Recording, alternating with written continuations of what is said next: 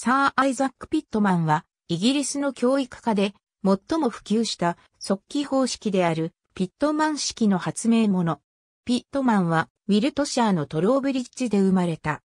1839年からバースに創立した私立学校で教師として働いていたが、速記の仕事に専念するために1843年に退職した。1837年にピットマン式の速記法を発明した。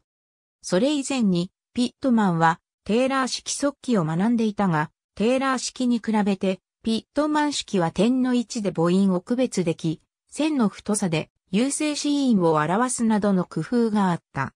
当時の速記方式は綴り字によるものと音声によるものがあったが、ピットマンは音声による速記の方が優れているとして、自身の速記方式を当初、ステネグラフックサウンドハンドと呼んでいた。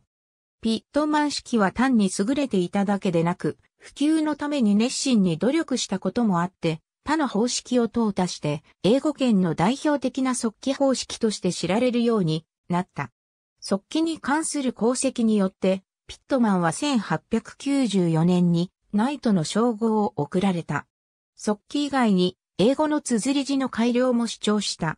1843年から音声的な綴り字のための月刊誌ザ・フォーナティピック・ジャーナルを編集した。